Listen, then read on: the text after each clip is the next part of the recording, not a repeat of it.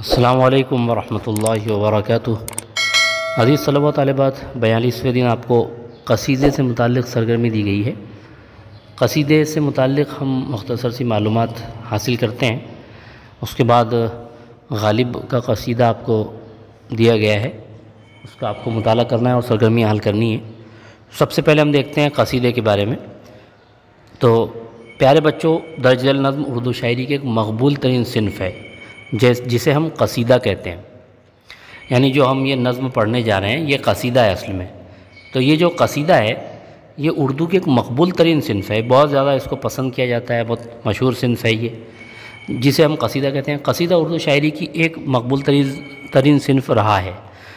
ماضی میں اس کو بہت اہمیت حاصل تھی۔ آج کے دور میں قصیدے کا اتنا زیادہ رواج نہیں ہے۔ لیکن جب بادشاہ یا نواب وزیر ہوا کرتے تھے تو ان کے زمانے میں ان کی تعریف بیان کرنے کے لیے قصیدے کا بہت استعمال ہوتا تھا۔ تو قصیدے کے معنی کیا ہوتے ہیں؟ مقصود، ارادہ یعنی جس چیز کا ارادہ کیا جائے، اسے کہتے ہیں قصیدہ۔ تو قصیدے کو قصیدہ کیوں کہا جاتا ہے؟ اس لیے کہ شاعر اس کو لکھتے وقت اس کا کچھ خاص مقصد اور ارادہ ہوتا ہے۔ یعنی بادشاہ یا نواب سے وہ کوئی انعام حاصل کرنا اس کا مقصد ہوتا ہے۔ قدیم زمانے میں شاعر کسی نواب، امیر یا بادشاہ کی خوب بڑھا چڑھا کر تعریف و توصیف کرتا تھا۔ شاعر کا مقصد نواب یا بادشاہ سے انعام و اکرام حاصل کرنا ہوتا تھا۔ اپنے مقصد کی وجہ سے قصیدہ ایک موضوعی صنف ہے۔ یعنی چونکہ اس میں مقصد شامل ہے بادشاہ یا نواب کی تعریف کرنے سے انعام حاصل کرنا ایک مقصد اس میں ہے۔ اس لیے اس کا ایک موضوع بھی ہے۔ جیسے غزل میں ہر شعر آزاد ہوتا ہے، ویسا معاملہ نہیں ہے۔ بلکہ اس کا موضوع ہوتا ہے اور شاعر کسی نہ کسی کی اس میں تعریف بیان کر رہا ہوتا ہے۔ اور اس کے اشعار بھی مسلسل ہوتے ہیں۔ مطلب غزل کی طرح ہر شعر آزاد اور مکمل نہیں ہوتا، بلکہ کسی کی تعریف میں وہ تسلسل کے ساتھ تعریف بیان کرتا ہے شاعر۔ لیکن اس کی مخصوص حیت بھی اہمیت رکھتی ہے۔ اس کی جو شکل ہے، یہ بھی بہت اہمیت کی حامل ہے۔ غزل ہی کی طرح اس کی شکل ہوتی ہے۔ پہلا شعر مطلع کہلاتا ہے اور باقی جس طرح غزل میں دوسرے شعر میں، جس طرح دوسرے تیسرے شعر میں یعنی آخر تک اس میں دوسرے مصرے میں قافیہ ہوتا ہے، اسی طرح قصیدے میں بھی ہوتا ہے۔ اس کے، اس کا پہلا شعر مطلع کہلاتا ہے۔ قصیدے کا پہلا شعر مطلع کہلاتا ہے اور بعد کے اشعار میں غزل کی طرح مطلع کے قافیوں کی پابندی کی جاتی ہے۔ اس طرح سے مختصر معلومات ہے اب اس کے اجزاء بھی دیے گئے ہیں۔ آپ یہ ذہن میں رکھ لیں، تجبیب، گریز مدہ اور عرض مدعا یا حسن طلب، یہ چار اس کے اجزاء ہیں۔ تو تجبیب میں کیا ہوتا ہے؟ تمہیدی اشعار ہوتے ہیں یہ۔ شاعر تمہید مانتا ہے۔ اس میں زمانے کے حالات، موسم کے حالات یا خود اپنے بارے میں شاعر کچھ اشعار کہتا ہے۔ تو یہ تشبیب ہوتی ہے، تمہید، تمہیدی اشعار ہوتے ہیں۔ اس کے بعد گریز کا مرحلہ آتا ہے۔ تو گریز میں کیا ہوتا ہے؟ شاعر گریز میں یہ کرتا ہے کہ اب وہ جو تمہیدی اس نے اشعار کہے ہیں، اس سے ہٹ کر اب وہ تعریف کی طرف آتا ہے۔ تو وہ اسی لیے اس کو گریز کہا جاتا ہے کہ اب وہ پہلے ٹاپک سے گریز کر کے اب وہ تعریف کی طرف آتا ہے، اس لیے اسے گریز کہا جاتا ہے۔ تو گریز کے وہ چند اشعار کہتا ہے، اس میں مطلب بھی کہہ سکتا ہے وہ۔ یعنی تجبیب کے بعد پھر سے مطلب کہہ سکتا ہے گریز کے لیے۔ اس کے بعد اصل موضوع پہ آتا ہے وہ، جس کو ہم مدح کہتے ہیں، تعریف۔ تو وہ خوب تعریف کرتا ہے بادشاہ یا نواب کی۔ اور خاص حصہ اس کا یہی ہوتا ہے، قصیدے کا۔ اس کے بعد آخری جو حصہ ہوتا ہے، اس میں شاعر عرض مدعا یعنی اس کی جو اس کا جو اصل مقصد ہے اس کو بیان کرتا ہے۔ یا حسن طلب۔ حسن طلب کا مطلب یہ ہوتا ہے کہ وہ اچھے انداز سے بادشاہ یا نواب کے سامنے اپنی ضرورت رکھتا ہے اور انعام و اکرام کی گویا درخواست کرتا ہے، لیکن واضح طور پر نہیں کرتا، اچھے انداز سے کرتا ہے۔ تو اس کو عرض مدعا یا حسن طلب کہا جاتا ہے۔ تو اس طرح یہ چار حصے ہیں، قصیدے کے۔ اب یہ صبدم دروازہ خاور کھلا۔ مہر عالم تاب کا منظر کھلا۔ یہ آپ کو مکمل پڑھنا ہے اور اس کے بعد سرگرمیاں، اس کا خلاصہ بھی دیا گیا ہے، خلاصہ بھی آپ پڑھیں۔ اس کے بعد ہم سرگرمیاں دیکھیں گے۔ ایک مرتبہ میں آپ کو پڑھ کے سنا دیتا ہوں۔ اس کی تشریح اگر کی جائے یا خلاصہ بیان کیا تو بہت زیادہ طویل ویڈیو ہو جائے گا۔ اس لیے صرف پڑھ کے سنا دیتا ہوں۔ صبح دم دروازۂ خاور کھلا مہر عالم تاب کا منظر کھلا۔ خسرو انجم کے آیا صرف میں، شب کو تھا گنجی نئے گوہر کھلا۔ ہیں کواکب کچھ نظر آتے ہیں کچھ۔ دیتے ہیں دھوکا، یہ بازی گر کھلا۔ ستھ گردوں پر پڑا تھا رات کو۔ موتیوں کا ہر طرف زیور کھلا۔ صبح آیا جانب مشرق نظر۔ ایک نگار آتشی رخسر کھلا۔ بزم سلطانی ہوئی آراستہ۔ کعبہ امن و اما کا در کھلا۔ تاج زرنی مہر تاباں سے سوا۔ خسرو آفاق کے منہ پر کھلا۔ شاہ روشن دل بہادر شاہ کے ہے۔ راز ہستی اس پہ سرتا سر کھلا۔ وہ کہ جس کی صورت تکوین میں مقصد نوح چرخ و ہفتختر کھلا۔ مجھ پہ فیض تربیت سے شاہ کے منصب مہر و مہو محور کھلا۔ باغ مانا کی دکھاؤں گا بہار۔ مجھ سے گر شاہ سخن گستر کھلا۔ پھر ہوا مدھت ترازی کا خیال۔ پھر مہو خورشید کا دفتر کھلا۔ مد سے ممدوح کی دیکھو شکو، دیکھی شکو۔ یا عرض سے رتبہ جوہر کھلا۔ مہر کاپا مہر کاپا چرخ چکر کھا گیا، بادشاہ کا رایت لشکر کھلا۔ بادشاہ کا نام لیتا ہے خطیب، اب اولوے پایہ ممبر کھلا۔ ملک کے وارث کو دیکھا خلق نے، اب فریب تغرل تغرل و سنجر کھلا۔ ہو سکے کیا مدھاں ایک نام ہے، دفتر مدھے جہاں داور کھلا۔ جانتا ہوں ہے خط لوہے ازل، تم پہ خاقہ ناماور کھلا۔ تم کرو صاحب قرانی جب تلک۔ ہے دلس میں روز و شب کا در کھلا۔ یہ قصیدہ آپ دیکھ رہے ہیں، غالب کا قصیدہ۔ اور کیسے الفاظ استعمال کیے ہیں، کیسی تراکیب استعمال کی ہیں انہوں نے، اس کا خلاصہ آپ یہاں دیکھیں گے۔ اور اس کے بعد، خلاصہ دیکھنے کے بعد آپ سرگرمیوں کی طرف ہم چلتے ہیں۔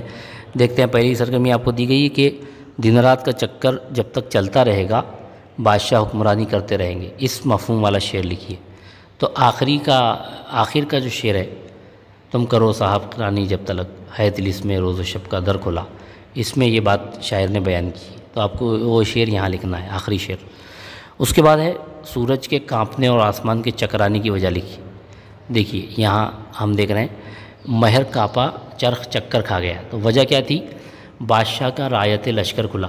کہ جب بادشاہ کے لشکر کا جھنڈا کھلا، تو اس کو دیکھ کر سورج پر اور آسمان پر ایسی حیبت تاری ہوئی کہ سورج کاپنے لگا اور آسمان کو چکر آ گیا۔ تو اس طرح سے آپ کو لکھنا ہے۔ اس کے بعد آپ کو جوڑیاں لگانی۔ ہیں دیکھیے، سطح گردوں۔ تو سطح گردوں پر کیا پڑا ہوا تھا؟ موتیوں کا زیور۔ تو موتیوں کا زیور آ جائے گا۔ تاج زرنی، وہ مہر تاباں اس کے ساتھ آئے گا۔ اور کواکب بازیگر، جانب مشرق مشرق نگارے آتشی رخ، یہ آئے گا۔ اس کے بعد قصیدے کے اجزائے ترکیبی لکھیے۔ اب آپ کو کیا کرنا ہے یہاں پر؟ ویب خاکہ لکھا ہوا ہے اوپر، لیکن ویب خاکہ نہیں ہے۔ یہاں کچھ دیا ہوا ہی نہیں ہے۔ تو آپ سیدھے سیدھے کیا کریں کہ یہ چاروں اجزائے ترکیبی کے نام یہاں لکھ دیں۔ پہلے میں لکھیں تجبیب، دوسرا لکھیں گریز، تیسرا لکھیں مدح، اور چوتھا لکھیں عرض مدعا یا حسن طلب۔ اس طرح سے۔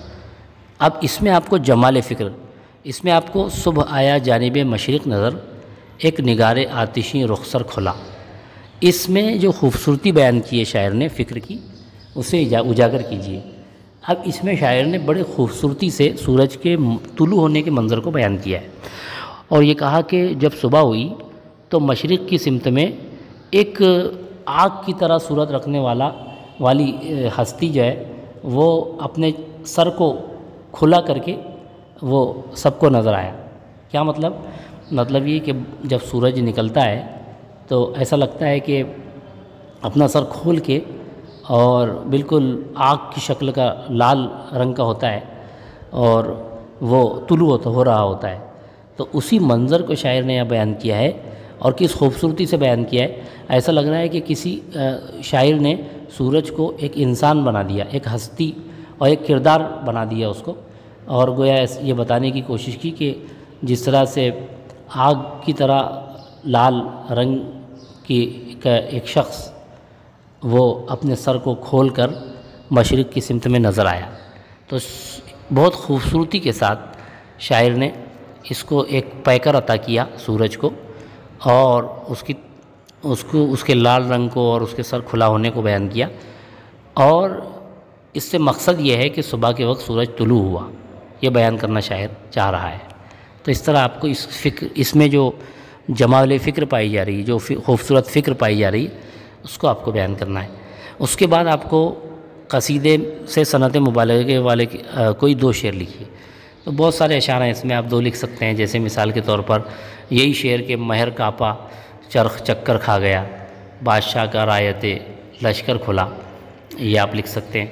پھر یہ بھی لکھ سکتے ہیں کہ وہ کہ جس کی صورت تکوین میں مقصد نو چرخ واف دختر کھلا، تو اس میں بھی بہت زیادہ مبالغہ استعمال کیا شاعر نے۔ تو یہ سب آپ لکھیں گے، دو شعر آپ لکھ لیجیے۔ اس کے بعد آپ کو جو سرگرمی دی گئی ہے، وہ یہ ہے کہ انٹرنیٹ کی مدد سے بہادر شاہ ظفر کے تاریخی حالات معلوم کیجیے تو آپ کیا کریں، صرف بہادر شاہ ظفر ٹائپ کریں گوگل پہ۔ آخری مغل بادشاہ بہادر شاہ ظفر۔ جب آپ اردو میں ٹائپ کریں گے تو ان کے حالات زندگی سے متعلق آپ کو وہاں معلومات ملے گی۔ وکیپیڈیا یا آزاد دائرۃ المعارف اس طرح لکھا رہے گا، آپ اس کو کلک کریں گے تو ان کے بارے میں مختصر آپ کو معلومات وہاں مل جائے گی۔ آپ وہاں سے لکھیں۔ یا آپ اس طرح عنوان بھی ڈال سکتے ہیں، بہادر شاہ ظفر کے تاریخی حالات۔ اس طرح آپ ڈالیں تو اس میں بھی آپ کو وہ سرچ کریں گے تو آپ کو بہت سے مضامین ملیں گے۔ آپ اس سے اس جواب کو نوٹ کریں۔ اب آپ کو یہاں کیا کرنا ہے؟ قصیدے کی تعریف بیان کیجیے دیکھیے، اب قصیدے کی تعریف بیان کیجیے آپ کو یہاں پر جو قصیدے کے بارے میں معلومات دی گئی ہے، آپ اس کا استعمال کریں اور اس کی تعریف بیان کریں۔ جیسے، لفظ قصیدے کے معنی مقصود ارادہ مقصود ارادہ ہیں۔ یعنی قصیدہ لکھتے وقت شاعر کا کچھ خاص مقصد ہو، یہ پورا یہاں سے لے کر آپ آخر تک لکھ سکتے ہیں اس کے، اس کی تعریف میں۔ اس کے بعد آپ کو کیا کرنا ہے کہ اس کے بعد آپ کو پوچھا گیا کہ قصیدے کے اغراض و مقاصد پر روشنی ڈالی۔ اس کا کیا مقصد ہوتا تھا؟ تو قصیدے کا مقصد یہ ہوتا تھا کہ بادشاہ نواب یا کسی بزرگ کی تعریف بیان کرنا، یہ اس کا مقصد ہے۔ اس کے اور بادشاہ سے یا نواب سے انعام و اکرام حاصل کرنا، یہ اس قصیدے کا مقصد ہوا کرتا تھا۔ قصیدے میں قصیدے میں سے اپنی پسند کے منتخب اشعار لکھیے۔ اب آپ کو صرف کیا کرنا ہے، آپ کو جو اچھے اشعار لگ رہے ہیں اس میں سے آپ وہ لکھ لیں۔ جو بھی آپ کو پسند ہو، وہ آپ لکھ لیں بس، صرف آپ کو اشعار لکھنا ہے۔ تو آپ پہلے پڑھ لیں قصیدہ، آپ کو جو اچھے لگ رہے ہوں وہ اشعار ہی آپ یہاں لکھ لیں۔ اور اس میں کوئی قید بھی نہیں ہے کہ کتنے اشعار لکھیں، دو، تین، چار، پانچ، جو بھی آپ لکھنا چاہیں لکھ سکتے ہیں۔ اس کے بعد قلی قطب شاہ کے لکھے قصیدے تلاش کر کے پڑھیے۔ اب اس کو تلاش کرنے کے لیے آپ پھر گوگل میں ٹائپ کریں گے قلی قطب شاہ کے قصیدے۔ اور قلی قطب شاہ کے قصیدے آپ ٹائپ کریں گے تو آپ کو ان کے قصیدے آپ کو ملیں گے۔ آپ کو صرف ان کو پڑھنا ہے، لکھنا نہیں ہے۔ تو آپ مطالعے کی غرض سے قلی قطب شاہ کے قصیدے پڑھ سکتے ہیں۔ گوگل گوگل پہ جا کے۔ امید ہے آپ کو یہ سرگرمی سمجھ میں آئی ہوگی۔ بہت بہت شکریہ۔ السلام علیکم ورحمۃ اللہ وبرکاتہ۔